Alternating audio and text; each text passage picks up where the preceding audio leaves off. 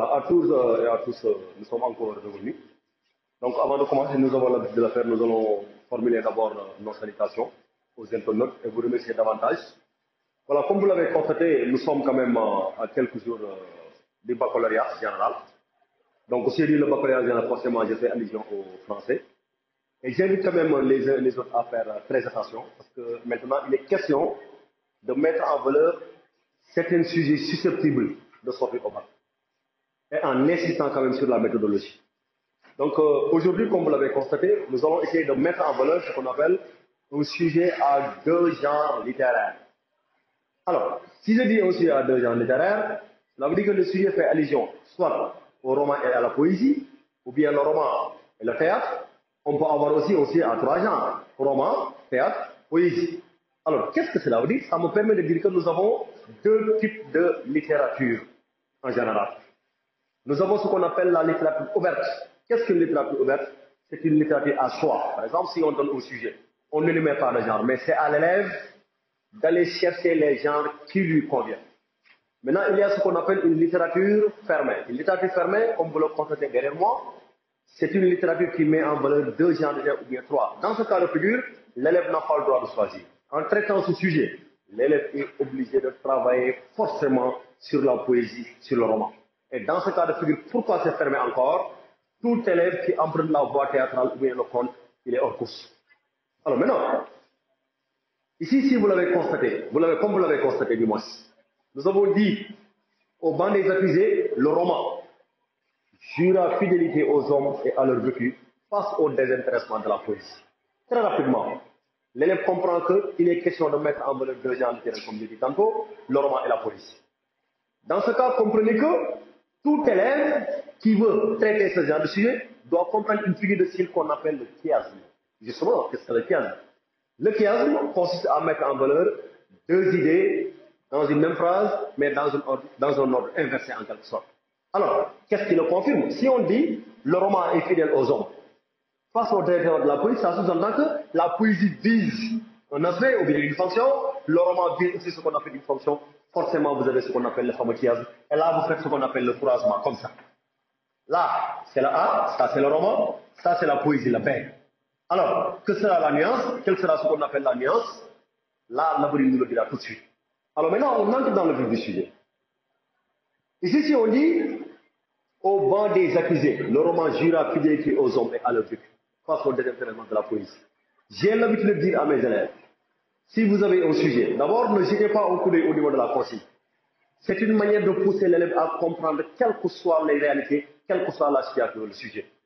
Alors comment faire? Il faut analyser pour sortir le sens, il faut mettre en valeur ce qu'on appelle la problématique.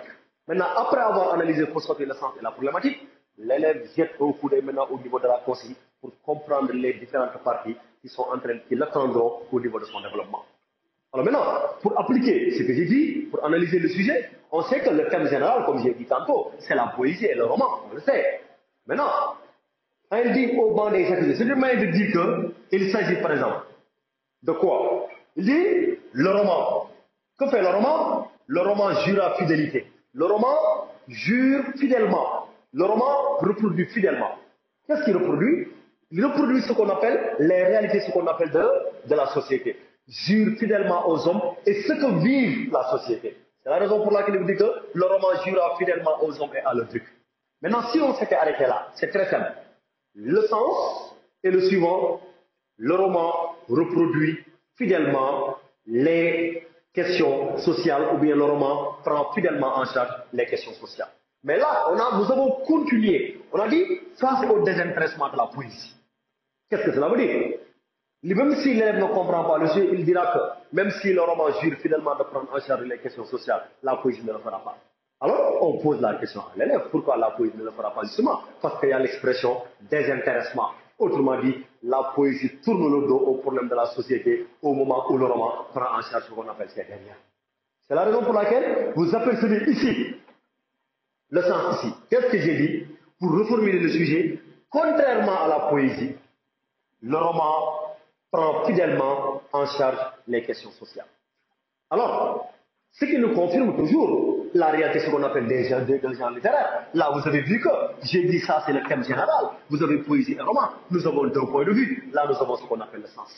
Maintenant, à partir du sens, j'ai l'habitude de dire aux élèves, on soulève la problématique par rapport à partir de là. Comment? On a clairement dit, contrairement à la poésie, le roman prend, prend fidèlement en charge les questions sociales. Alors, résumer le sujet en mettant en valeur ce qu'on appelle une problématique. Regardez comme nous avons fait. Le roman prend-il fidèlement en charge les questions, les questions sociales face au dernier élément de la poésie? Ce qui nous intéresse, chers camarades, comme je vous appelle affectueusement, c'est le point d'interrogation. C'est une manière de dire que à chaque fois, j'ai l'habitude de le dire, je l'ai scandé une fois autour de, dans mes vidéos, à chaque fois, la problématique doit être une phrase interrogative en quelque sorte. Alors maintenant, après avoir élaboré cette phrase interrogative, autrement dit la problématique, maintenant il est temps maintenant de nous plonger au cœur de notre consigne pour essayer de comprendre ce qui nous attend réellement dans notre développement. Alors, est-ce que nous avons une seule partie? Est-ce que nous avons deux parties? Est-ce que nous avons trois parties? Pour apporter la réponse, la première réaction, il faut faire recours aux différentes liens logiques. Alors ici, qu'est-ce qu'on a dit? Dans une analyse organisée d'une manière comparative, c'est pour confirmer que le sujet est un sujet comparatif. Avec des exemples tirés, là aussi nous avons attiré votre attention sur le roman et ce qu'on appelle sur la poésie. Vous appuyez les dessous de ces propos. Là, d'abord est sous-entendu. Parce qu'on a clairement dit, vous appuyez les dessous de ces propos. Très rapidement, l'élève comprendra que ça c'est la première partie du développement, autrement dit ce qu'on appelle la thèse. Alors, deuxième lien logique, très clair, ici nous avons ce qu'on appelle ensuite. Ensuite, fait allusion à chaque fois à la nuance. Qu'est-ce qu'on a dit? Ensuite, vous prouvez les limites de chacun. Alors là, l'élève est obligé de sortir le grand jeu. Parce que la consigne est améliorée entre guillemets. Parce que dans cette consigne, elle n'aide pas à réaliser ce qu'on appelle le camarade. Parce que ici, tout élève qui ne comprend pas le sujet ne peut pas appuyer les dessus ce qu'on appelle de ses propos. Tout élève qui rate les dessous de ses propos ratera forcément ce qu'on appelle les limites de, de, deux gens au niveau de l'alliance. Quelles sont les limites? L'avenir nous suite. Alors, ici, nous avons enfin, on confirme que ça, c'est la première partie. Là, ensuite, fait allusion à la deuxième partie pour ne pas dire l'alliance. Maintenant, vous avez, est-ce que vous avez la réconciliation pour ne pas dire la synthèse ou bien la fonction restante? Alors, pour les élèves qui croient que, à chaque fois, quand il s'agit de la troisième partie, c'est une synthèse, c'est une réconciliation, non, déchantez-vous, vous êtes en train de vous tromper lourdement. Autrement dit, comprenez-le une bonne fois pour toutes. Il y a deux types de troisième partie. La première, c'est lorsqu'on réconcilie ce qu'on appelle le, la tête et la nuance, pour ne pas dire la synthèse. La deuxième, on peut demander à l'élève de mettre en valeur la fonction restante. Dans cette fonction restante, on peut dire, par exemple, comme dans cette consigne-là, on dit, et enfin, vous donnez la fonction de base de genre. Forcément, l'élève se posera la question suivante. Quelle est la fonction de base de la poésie? Quelle est la fonction de base du roman? Ces deux axes euh, occuperont ce qu'on appelle la troisième partie, pour ne pas dire la nuance numéro 2. Dans ce cas de figure, l'élève n'a pas le droit de réconcilier ce qu'on appelle son, de réconcilier la thèse et la nuance. Maintenant, pour exploser la thèse, si on dit, vous appuyez les dessous de ces propos, là, revenez sur le sujet, parce qu'il faut comprendre pour pouvoir appuyer les dessous de ce qu'on appelle de ces propos. Le roman joue la fidélité aux hommes à leur vécu, on le sait, le roman prend en charge les questions sociales. Tout romancier qui prend en charge les questions sociales, le romancier devient ce qu'on appelle un militant, il milite en de la société ou bien il édite ce qu'on appelle la société. Là, le roman devient forcément ce qu'on appelle engagé en quelque sorte. Maintenant, face au désintéressement de la poésie, j'ai l'habitude de le dire aux élèves. Il y a une règle qu'il faut comprendre. À chaque fois, si vous avez ce qu'on appelle l'engagement, l'opposé du genre qui est engagé, forcément, ça devient ce qu'on appelle la situation. Autrement dit, soit l'écrivain raconte sa propre vie, soit il prend en charge ce qu'on appelle les questions sociales. Alors, c'est sorti. Ici, on a clairement dit, le roman devient engagé à la partie A. Forcément, quand la poésie tourne le dos ce qu'on à l'engagement, le poète devient forcément ce qu'on appelle lyrique. Autrement dit, vous avez le A, le romancier qui prend en charge les questions sociales, c'est-à-dire le roman engagé. Le B, vous avez ce qu'on appelle la poésie lyrique. Là, nous avons sorti ce qu'on appelle les leçons de propos. Encore une fois, au niveau de la thèse, vous avez les deux genres. La partie du roman, c'est la fonction engagée du roman. La partie de la poésie, c'est la fonction lyrique, ce qu'on appelle de la poésie. Maintenant, au niveau de la nuance, on a clairement dit ensuite, vous prouvez les limites de chacun. Je l'ai dit tantôt, avec la règle dont je viens de citer. Quelles sont les limites, ce qu'on appelle du roman engagé? Forcément au niveau de la nuance, le A', l'élève doit démontrer ce qu'on appelle le roman autobiographique. Le romancier qui raconte sa propre vie. Alors, pour le comprendre, c'est très simple. Avant de formuler complètement le sujet pour changer ce qu'on appelle son sens, revenons à ce qu'on appelle sur la partie B. Ici, la poésie tourne le dos au problème de la société. Forcément, au niveau de la nuance, la poésie prendra en charge ce qu'on appelle les questions sociales. Donc, au niveau de la thèse, vous avez le roman engagé, la poésie lyrique. Au niveau de la nuance numéro 1, vous avez la poésie, le roman autobiographique et vous avez ce qu'on appelle la poésie engagée. Qu'est-ce qui confirme la poésie engagée et le roman autobiographique au niveau de la nuance? Je l'ai dit tantôt, regardez le sujet, on va le changer. Au banc des accusés, la poésie jura fidélité aux hommes et à leur vécu face au désintéressement du roman. C'est ça qu'on appelle les limites du sujet. Dans ce cas, le poète prend en charge les questions sociales, le romancier raconte ce qu'on appelle sa propre vie. Alors, maintenant, ici nous avons la fin maintenant. L'élève, qu'est-ce qu'il doit faire? On a demandé d'évoquer la fonction de base de chacune de ces fonctions. La tout élève qui ne comprend pas, qui ne comprend pas la fonction de base de la poésie, la fonction de base du roman, fera forcément ce qu'on appelle un sujet. Alors, quelle est la fonction de base du roman? Forcément, c'est le roman distractif, c'est le roman imaginaire, c'est le roman évasif, c'est le roman fictif. Dans ce cas, l'élève devra prendre ce qu'on appelle le romancier qui distrait ce qu'on appelle la société. Maintenant, quelle est la fonction de base de la poésie? La fonction de base de la poésie n'est rien d'autre que la poésie esthétique, mais comme ornement, la décoration. Le poète privilégie ce qu'on appelle la forme au détriment du fond, la beauté au sens formel. Alors, pour récapituler, tout j'ai dit, et vous donner ce qu'on appelle la méthode qu'il faut adopter pour espérer réussir ce qu'on appelle votre évaluation. Le thème général, vous avez le roman et la poésie. Vous avez deux aspects. Un, au banc des accusés, jusqu'à vécu. Le deuxième aspect, phase, jusqu'à la poésie. Maintenant, quel est le sens du sujet, comme nous l'avons énuméré? Contrairement à la poésie, le roman prend fidèlement en charge les questions sociales. Quelle est la problématique du sujet? Le roman prend-il fidèlement en charge les questions sociales face au désintéressement de la poésie Quelle est la thèse du sujet? Nous avons le roman engagé, la poésie lyrique. Quelle est la nuance du sujet? Vous avez le roman autobiographique pour ne pas dire le roman personnel et ce qu'on appelle la poésie engagée pour ne pas dire la poésie sociale. Quelle est la nuance numéro 2 Vous avez le roman distractif et vous avez ce qu'on appelle la poésie esthétique comme ornement. Alors maintenant, il y a un petit changement autour de ce qu'on appelle des, de la démarche, autour de la méthode. Comme j'ai dit tantôt, j'ai dit que c'est la méthodologie qui entre en jeu. Même si vous avez les meilleures idées du monde, les meilleurs arguments du monde, vous n'avez pas de méthodologie, vous n'allez pas dépasser un 6 ou bien un 5. Que ce soit clair. Alors, donc, gare à l'élève qui ne maîtrise pas la méthodologie. C'est la base en quelque sorte. Alors maintenant, pour revenir sur cette méthodologie, d'abord, il y a l'introduction, vous le savez mieux que moi. Elle tourne autour de cinq parties. C'est largement insuffisant. Parce que là, il y a un petit changement. Il y a ce qu'on appelle le, la poésie le roman. Vous avez deux genres littéraires. L'élève qui suit son sujet, c'est très simple. Vous avez plusieurs portes. Par exemple, l'essence et l'orientation des œuvres romanesques et poétiques suscite un débat contradictoire au sein des milieux intellectuels. Maintenant, un coup d'œil toujours pour terminer la citation. En effet, vous prenez la partie du roman. C'est pour certains, le roman doit prendre en charge les problèmes sociaux. Pour d'autres, par contre, vous coup d'œil au niveau de la poésie, la poésie doit être personnelle et vous avez suivi votre sujet. Alors, la deuxième partie, vous annoncez le sujet. C'est dans ce contexte que s'inscrit le sujet suivant, vous reprenez le sujet. Alors maintenant, vous revenez sur la reformulation pour ne pas dire le sens. Autrement dit, contrairement à la poésie, le roman prend fidèlement en charge les questions sociales. Maintenant, vous attaquez la problématique, le roman prend plus fidèlement en charge les questions sociales face au désintéressement de la poésie. Maintenant, après la problématique, maintenant, il est question d'annoncer ce qu'on appelle le fameux plan. Attention au plan. J'ai l'habitude de vous le dire, il ne faut jamais essayer de recopier ce qu'on appelle la consigne et la considérer comme et le considérer autant pour moi comme un plan. Non, loin de là. C'est ça qu'on appelle le plagiat. Pourquoi plagier? L'élève doit reformuler autrement. Je l'ai dit tantôt, la thèse, vous avez le roman engagé, la poésie lyrique. Nuance 1, le roman autobiographique, la poésie engagée. Nuance 2, le roman distractif, la poésie esthétique. L'élève doit, doit reformuler ce qu'on appelle à sa manière, comme ça, pour élaborer ce qu'on appelle son plan. Maintenant, on part de la problématique. Pour répondre à une telle interrogation, notre analyse s'articulera autour des orientations suivantes. Vous convoquez un lien logique qui fait allusion à ce qu'on appelle au début.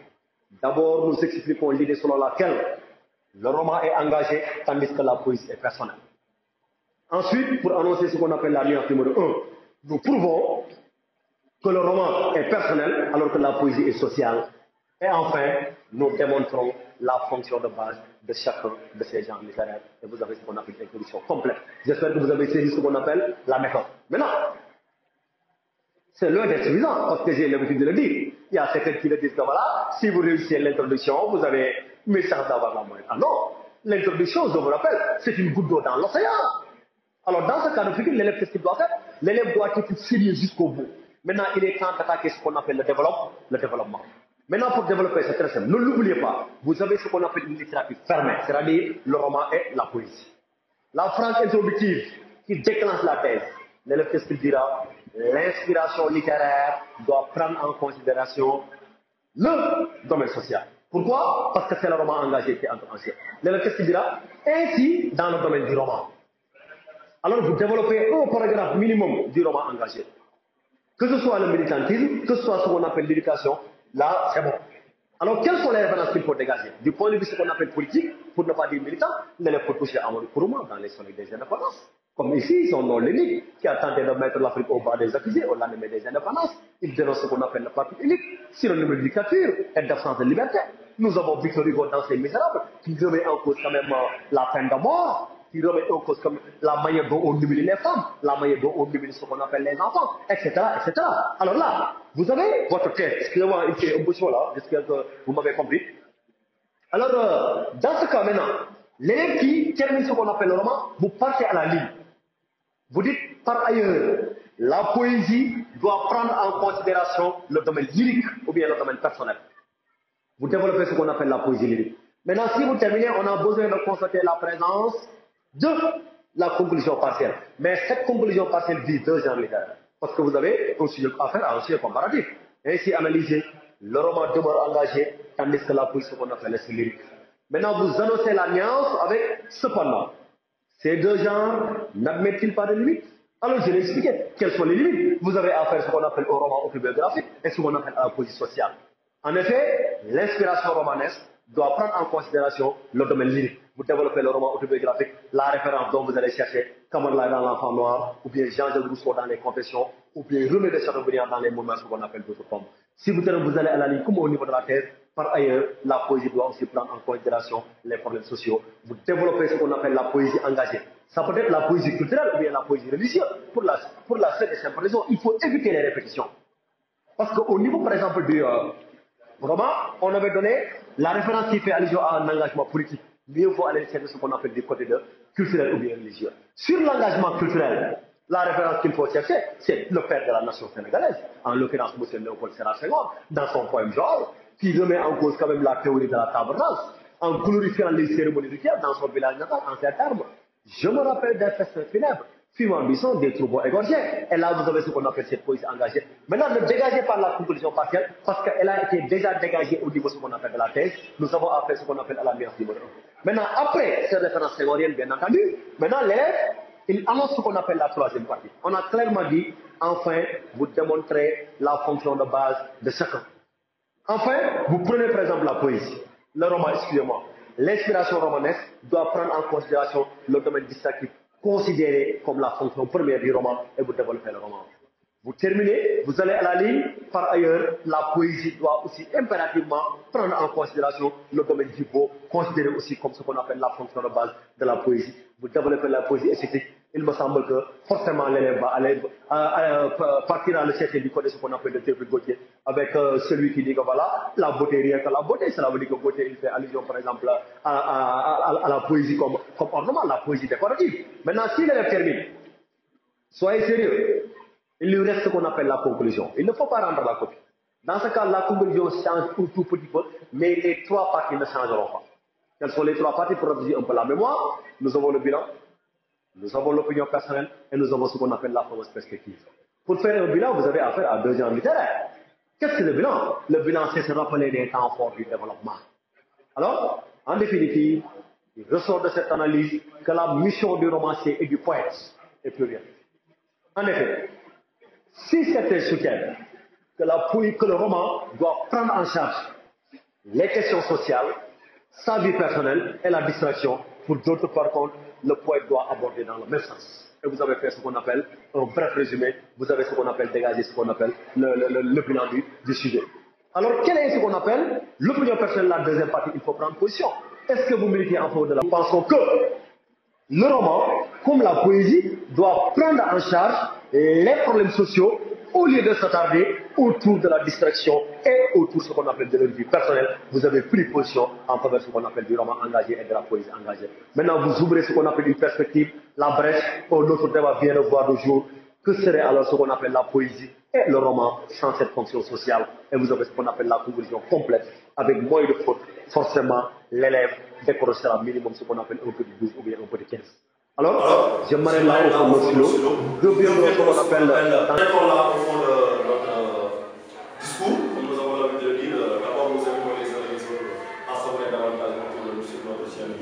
J'invite aussi les élèves à être devant les, les parce que le bac bon, ne se prend pas comme ça. Donc, élève qui, toute personne qui vous sera un cadeau, il vous faut le doigt dans l'œil, excusez-moi pour l'expression. Donc, réviser, poser des questions via YouTube et nous répondre à ce qu'on appelle toutes vos questions. Nous reviendrons à ce qu'on appelle dans quelques jours pour vous proposer un sujet sur la littérature en général. Je vous